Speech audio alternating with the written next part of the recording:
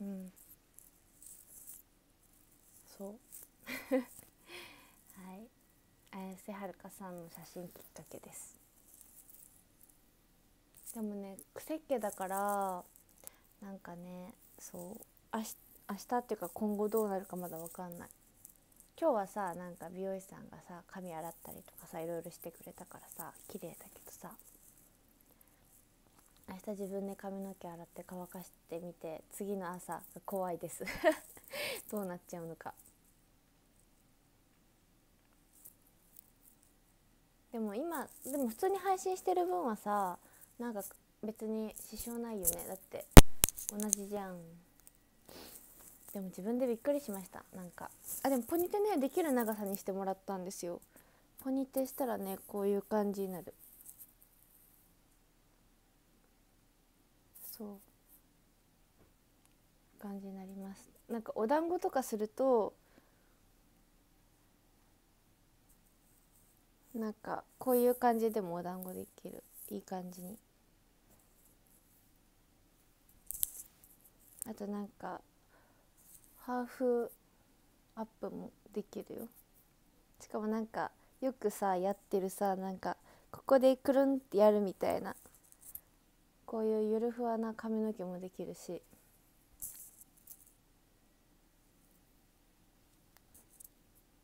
あとなんかここら辺でクイッてちょんって結ぶやつもできます。この長さなら。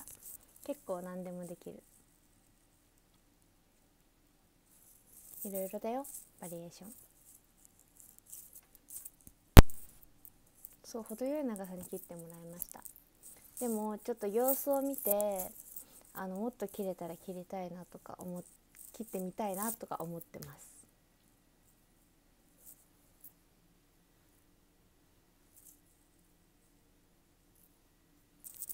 そう。あ染めなかったです。なんかね染めるのはね別に今じゃなくてもいいかなって感じ。ね片上もね行ってみたいんだ。そうでも癖っ気だからその様子を見てみて一旦この長さで生活してみてもっと切りたいなって思ったら切ろうねって話になりました。まあその前にねそう聞かなきゃいけないけどね。もうちょっと切っていいですかって。すごいお花のシャワーが。ありがとうございます。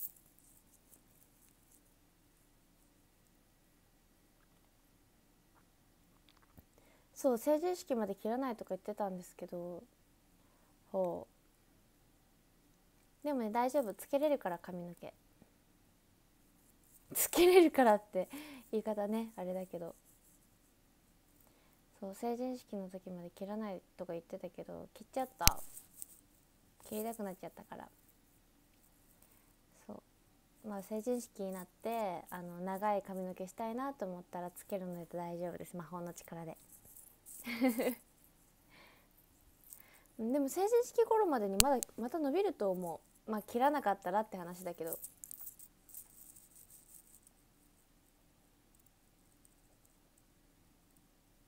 その毛先がすごい傷んでてすごかったの。本当に。ほうきみたいになってた。日によっては。なんか毎日じゃないんだけどなんかね本当にね痛みがひどくてそう。だからかなりね綺麗になりました髪の毛も。はい。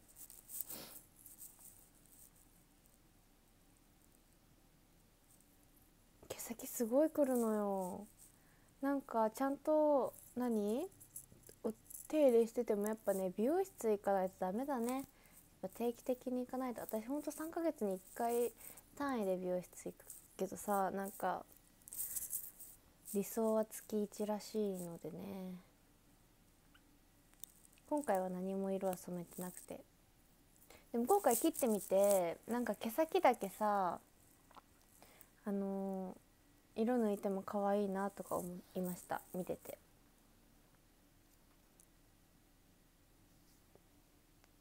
あそうトリートメントでもしてもらいましたね。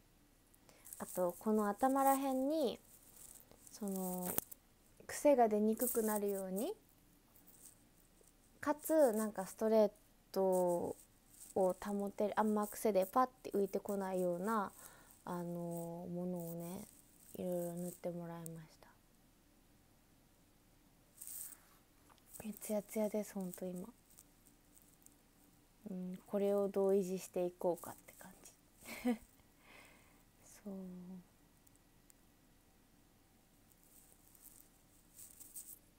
今日って何曜日だ？今日火曜日？火曜日か。早っ。今日火曜日なんだ。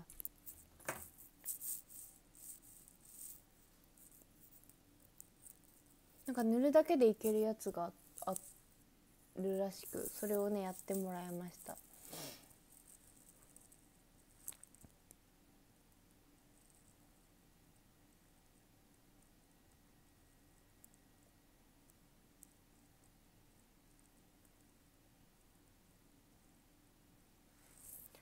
トキオのやつって言ってましたね美容師さんが。トキオのねやつらしいです。いや曜日感覚本当に鈍る。あゆいゆいからやろ？ねみゆいからねあの許可許可何？これ載せていい？ってきた。申請が来たよちゃんと。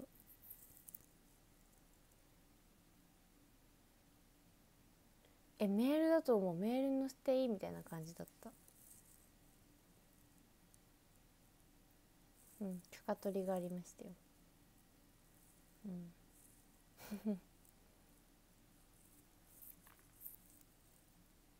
嘘半目の方載せちゃダメって言ったのに。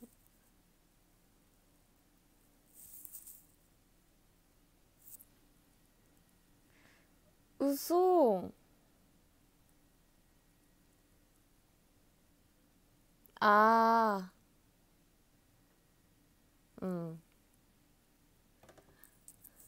私がちょっとよく見てなかったわ。でももう一つの方はなんかガチで半目だからちょっとやめてって。はい。いや全然いいやつでした、うん、ちゃんと OK 出したやつだったよ。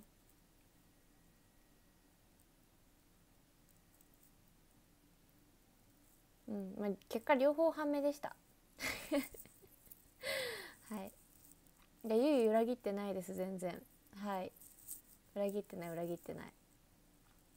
もっと半目の方があってなんか2枚送られてきて。で1枚の方はパッと見半目じゃないからなんか別にこっちはいいけどでももう一つは見るからに半目だったからちょっとこっちはダメでもう一つもいいよって言ってそのその OK 出した方がちゃんと載ってるはず。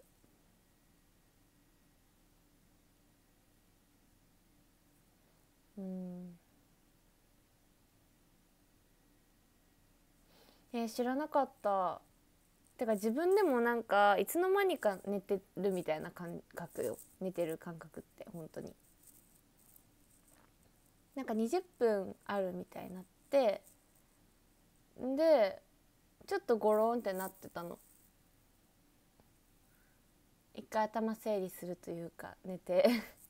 そういう感覚でゴロンとなって目つぶってたんだよね、まあ、そしたらいつの間にか時間になって起きてみたいな感じだから寝てたのかなどうなのかなって感じだったけどでもゆいが撮ってたから写真寝てたんだよね。はい。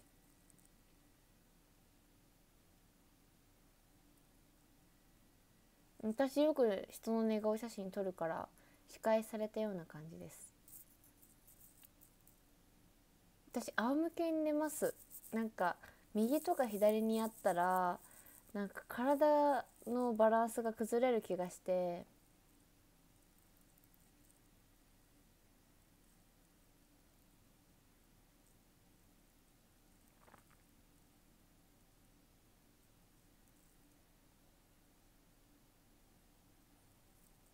そうだからねあんまやらない。からできるだけ仰向けで寝たい人。寝返りしない。ずっとあの体勢。お誕生日のしている。ともさんおめでとう。おめでとう。うつ伏せはね顎が痛い。顎つくじゃん。あと息苦しいし。仰向け派だな。でも大の字がいいとかさなんだっけ右向きがいいんだっけ。人ってなんかね右向きがあの落ち着くんだって。体が一番休める体勢になるみたい。な左か右どっちだったっけ。なんかどっちかがねそう体が一番休めるみたいな。右向きか。そうそういうのがあるから一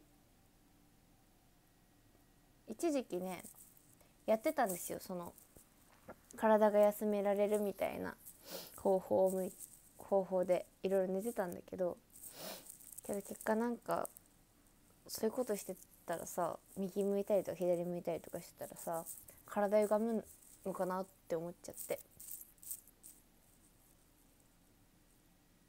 だからもう仰向けで寝るようになりました。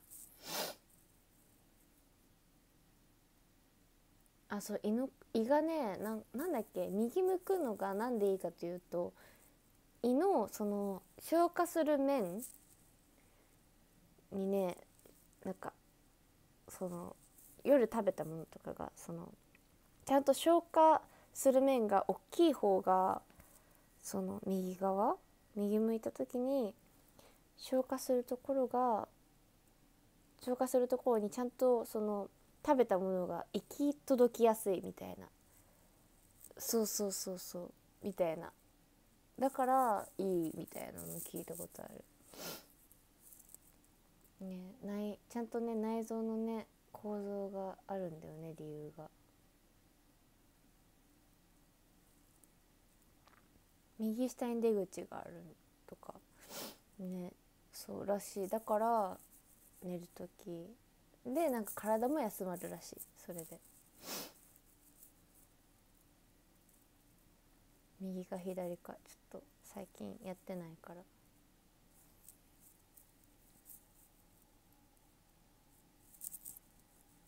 ないぞ。心臓が下だと良くないと聞いたこと。へえそうなんや。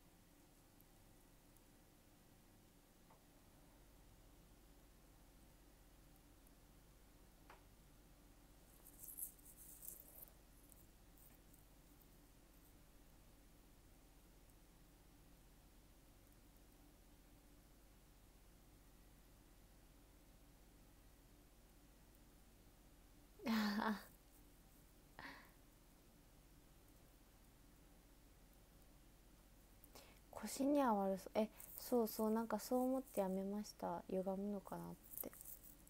筋トレとかはねしたことあるよ。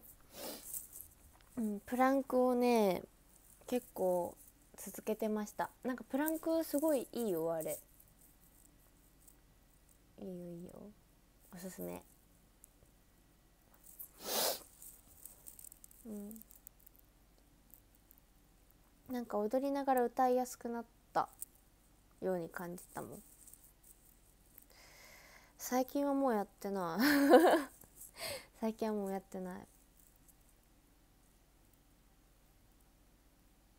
うんプランク聞く。で韓国のアイドルの人とかはなんかプランクやったまんまなんか右左上下させるの。ゆっくり。そしたらなんかウエスト部分っていうかあの11時って言ったらいいの？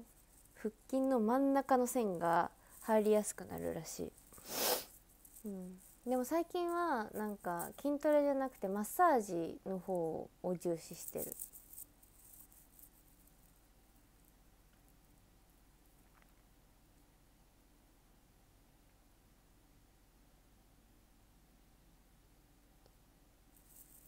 あでも確かにあのガチなあの筋トレはなると思うよ。でも全然プランクはお腹の筋肉つけるだけだから。逆に綺麗になると思う。うんそうプランクやると体幹が鍛えられるの。プランクしながら絶対寝れないよ。私プランクは1分間かな。最高1分間。うん、1分間限界です。でも続けてた頃は1分半とか2分とかやってたかな。それもでも3ヶ月しか続かなかった。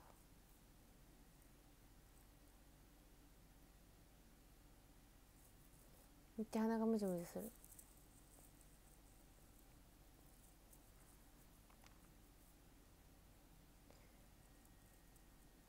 でも1分はできるようにしてるするようにしてるやるときは。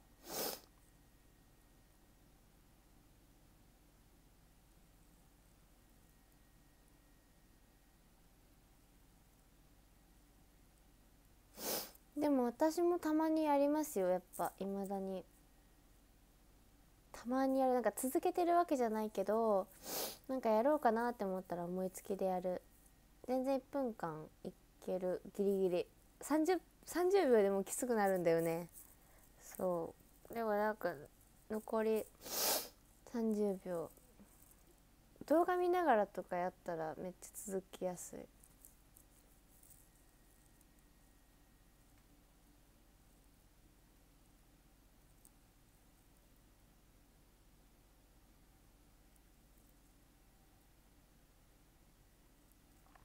うん。腕立て伏せ逆にできない人いる？腕立て伏せ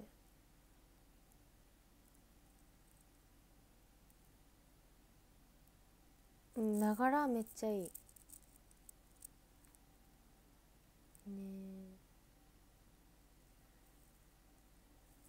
うん、でも全然私トレーニングしてない方だよ本当に。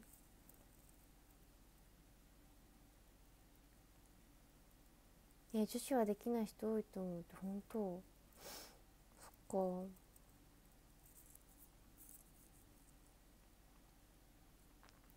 腕立ては普段もやんないかな。やんない。なんか腕立てやるんだったら腕立て腕立てとか腹筋とかやるんだったらプランクやった方が全然効果あると思うから。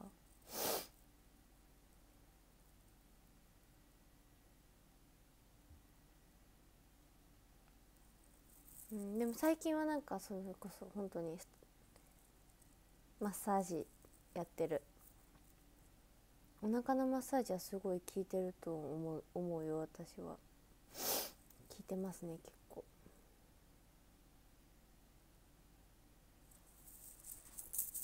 うん今日まだできてないけど。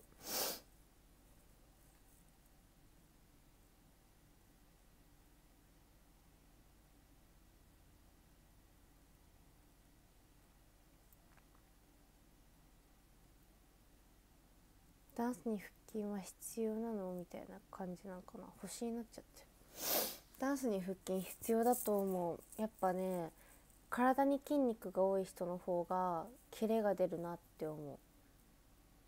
迫力も出るし。止めるところ止めれるんだよね。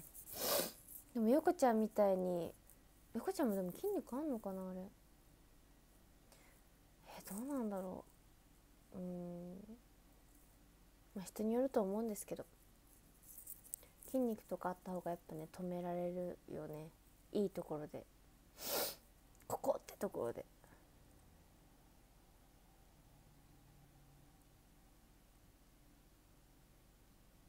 うん。っていうイメージです。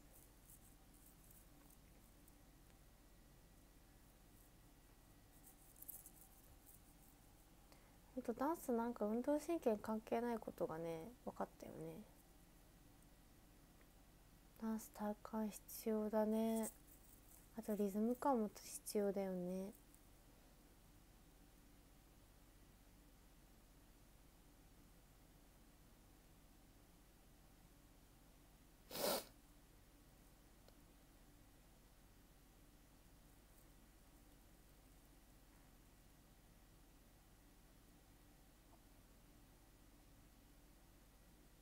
ねお腹のねマッサージ簡単だよ。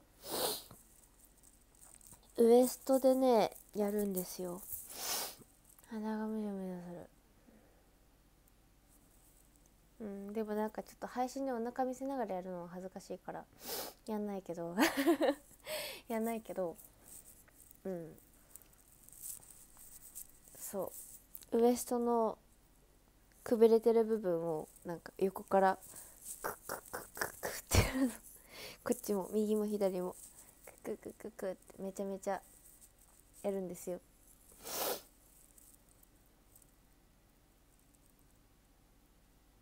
そしたらすごい朝もあの絶対トイレ行くようになるよ。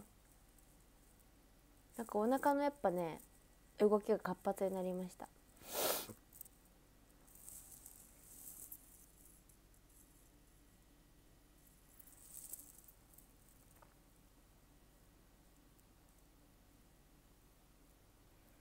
だってこの画面にお腹だけ絶対映すようになるよ。恥ずかしいよ。やだよ。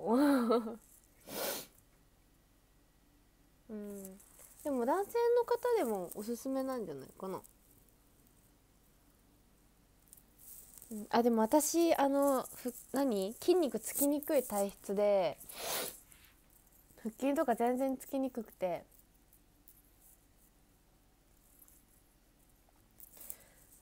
そう。きにくいんだよね多分。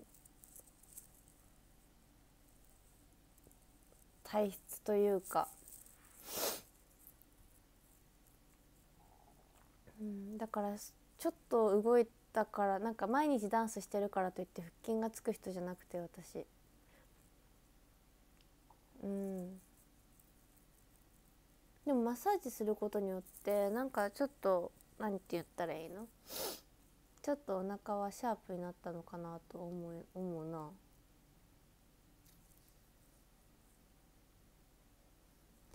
そうすぐ割れないのだから。あーなんか鼻がめっちゃかゆい。なんでこんなかゆいんやろ。めっちゃええや。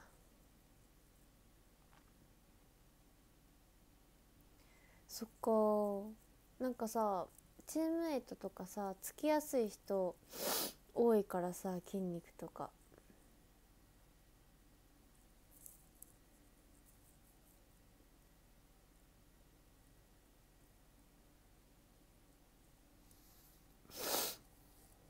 猫触ってないよ私今日。花粉？ハウスダストなんかあったかな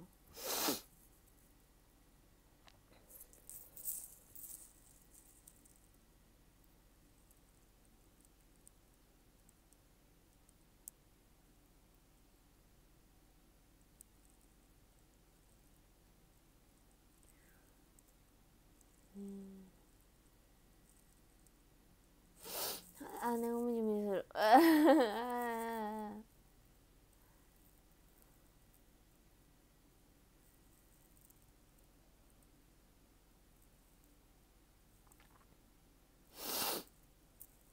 うん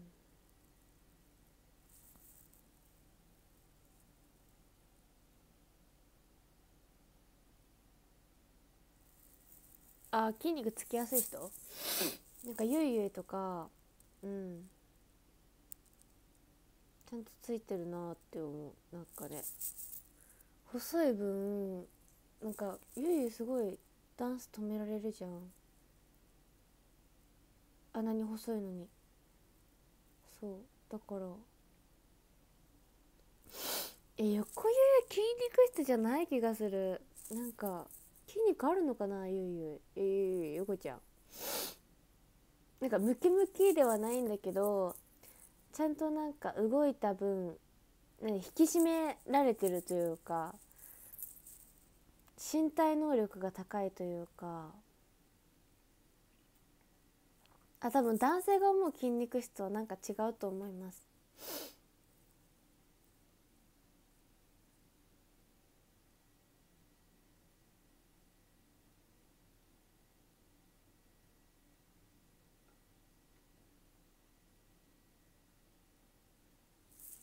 そうゆいはそう思う。うんなるちゃんもすぐ筋肉つく人だと思う。つきやすい人だと思う。なんかそれこそこの前なるちゃんが話してた。なるすぐ筋肉つくんだよねってつきやすくてって話したりとかしてたし。そう。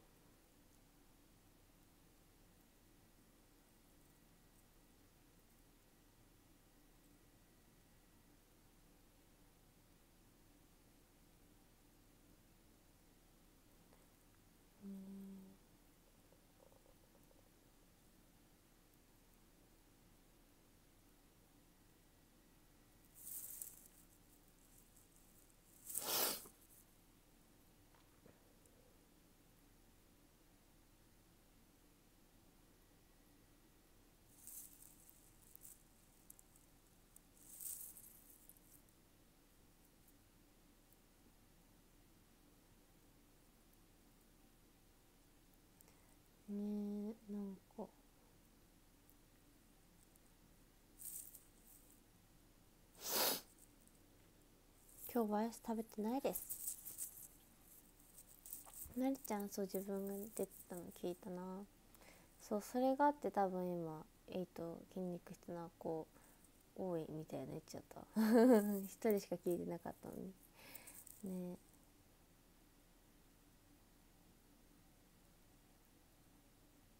おミルク寒天みかん食べた？美味しかったしあれ。しいよね。プロテイン流行ってるよね。ザバスだっけ？りんちゃんこの前飲んでた。そうサバスに見えて一瞬あれが。ロゴが。でサバスって言ったらザバスって。ザバスだった。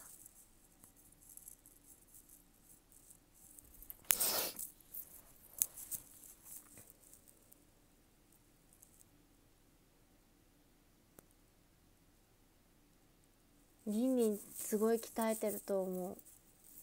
お腹がすごい綺麗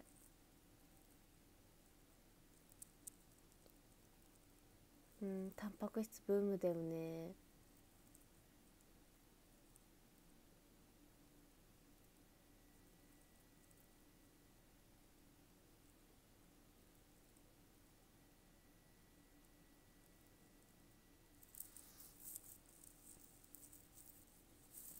でもプロテイン普通に美味しく取れるやつたくさんあると思う。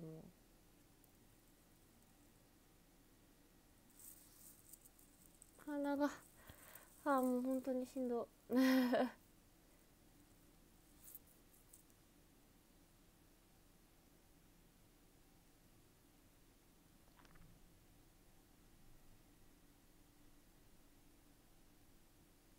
うん。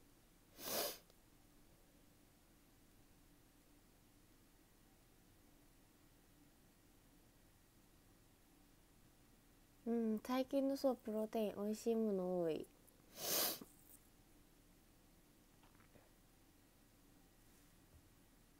みゆから何歌おうかな？ちょちょっと今日早めにやんないとね。時間が。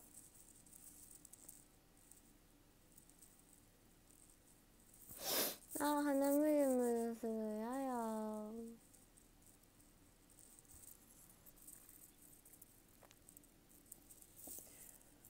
えー、ワルキーなのかな？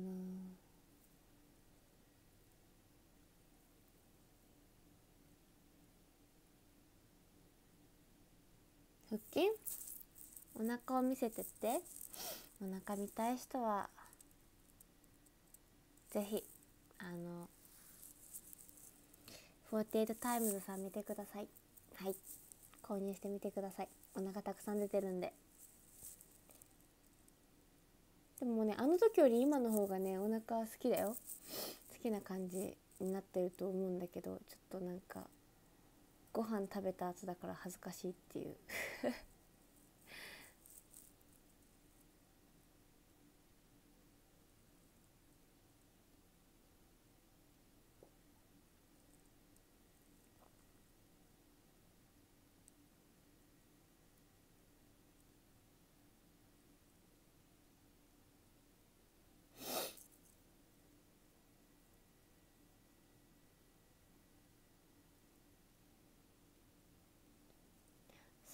色の空の下でってなんか聞いたことある気がするけど分からんかったわ。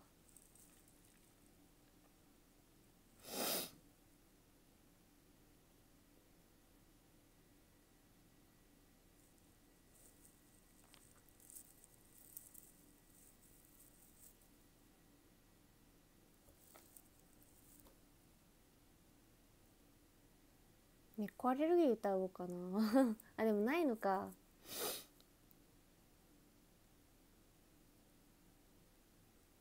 ああ君を好きになっちゃってトゥビトゥビトゥビ迷惑だったよねベイビーベイビー。いいねそれも。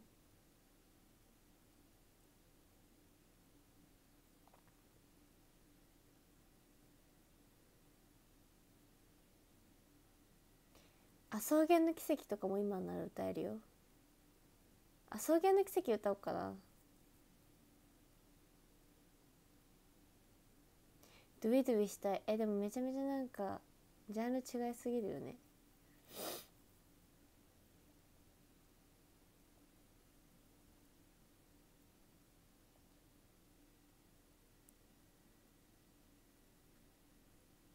さしすせそ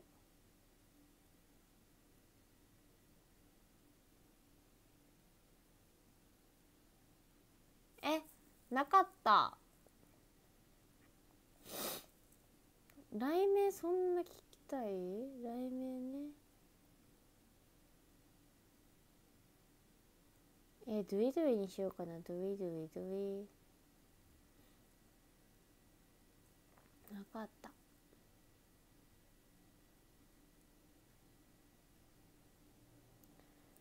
ドゥイドゥイねしようかな。柿。君を好きに。柿。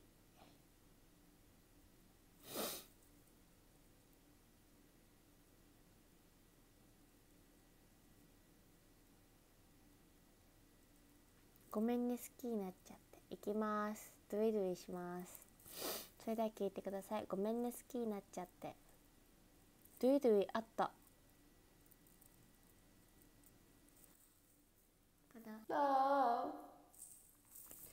泣きたいくらい。鼻詰まってる。もう。泣きたいぐらいだよ。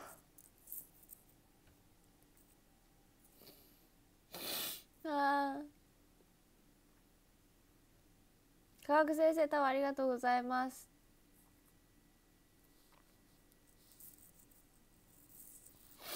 あ泣きたいくらい好きだ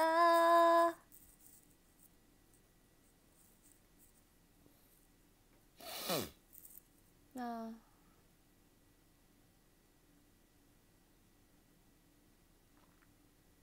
早くお風呂入って寝ます。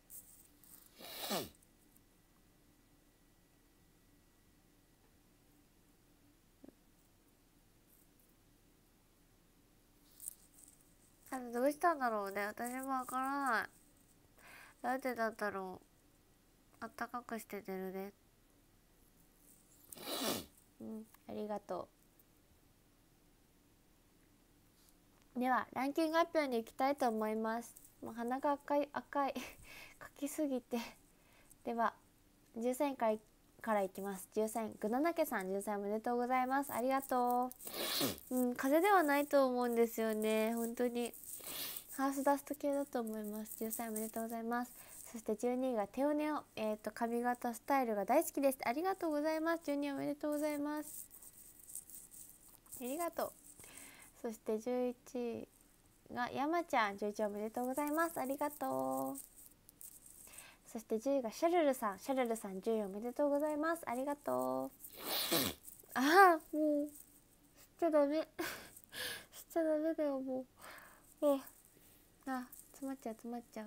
そして9位が謙信アットマークみゆちゃん5月もありがとう。6月もよろしくね。こちらこそよろしくお願いします。9位おめでとうございます。あ吸っちゃう。ははそうだいそうだい。はいそして8位コココンにえっ、ー、とパルイチュカエカムサンダありがとうございます。そして7位がスケタスケタッキーあとは髪型似合ってるよ。可愛いありがとう嬉しい。7位おめでとうございます。そういタタワー立ってるよね。誰だタワー？えっ、ー、と科学先生タワーありがとうございます。で6位がゆいやアットマーク昔は50キロあるかないかくらいだったんだけどなーって。ほう。筋肉があったからってこと？なんか男性の体重さ基準がわからない。うん。6位おめでとうございます。ありがとう。そして5位がねちゃん対みゆちゃん。とても綺麗髪型ってありがとうございます。えっ、ー、と5位おめでとうございます嬉しい。そして4位がリマットマークミュリタゴシ。ニューヘアエッポーって。カムサムダありがとうございます。カムサムダサビチュッカよ。そして3位がヌーコッパ。寒いチュッカよカムサムダそして2位がカレーアットマーク。私も髪切ろうと思うんですがどうでしょう？いいと思います。一緒に。一緒に切ろう私切っちゃったけど先に。はい。2位おめでとうございます。ありがとう。自分に素直になるのが一番。はい。そして1位がけんちゃんとマークみゆちゃんの1994年の来面聞きたいって。私歌ったことあるんだよ。ライブ映像探探ってみて。しかもセンターでやらせてもらったことあるんで。踊ってるよ。ぜひ。また今度歌えたらいいけどね。はいそして10円からいきます。えー、っとピーシアさんホイホイさんミュウの彼女シリーちゃん。科学先生ホアンさん。ジャーリングさんミンパディさん。和田さんアスラヒデちゃん。ナンナンフォーテイトさんハスキーさんプレシ。みみさんいつもし。しまやんさん。えっ、とクラッシングさんひよぱんさん。カカアイナさんカラディピースさん。ミッチーさんマイさん。ゴールド888さんグラドグリフォンさん。コサスミヨシ秀次郎さんミュー48ミューさん。ザゼロさん松ぼっくりさん XD さん星侍さんミキトさん。フィンド 4B さんビッグマムさんトットシヘギョンにハッピーミューシーブラウンシーイーグルイーグルさんかゆかゆい。グリグンちゃんアデノシンさんクラウド QT さんクックさんコウさん。ホタルミューさんエゴイスト氏。AK さんジョーさん。ナオナオさんもしも鳥だったらさん。シルバーさん上を向いて福丸さん。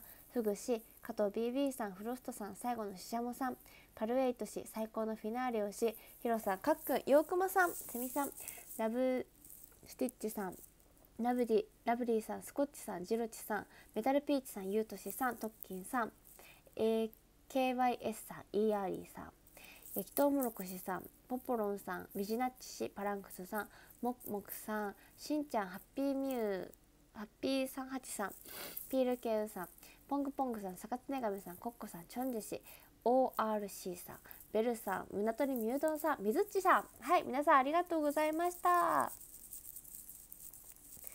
りがとうございます。じゃあ、スクショタイムいきたいと思います。いきますね。はい、チーズ。はい、ありがとうございます。じゃあ、ちょっと、せっかく切って初めてのだから、1ポーズ目。2ポーズ目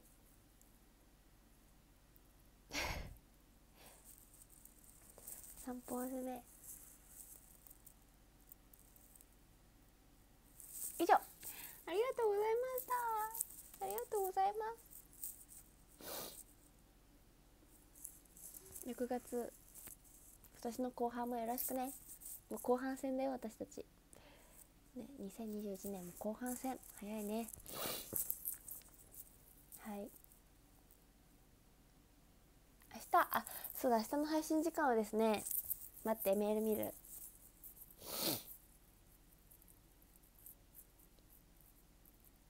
もうジュルジュルだわすごい。ダメだね。えっとね。うん23時からにしたいと思いますはい23時からにしますじゃあ내일은 밤 11시부터 방송해요. 꼭 봐주세요. 잘 부탁드립니다. そして tomorrow showroom at 11 p.m. watch please よろしくお願いします。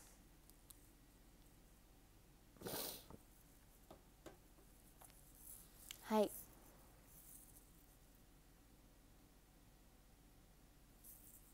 皆さん今日も見てくださって本当にありがとうございました。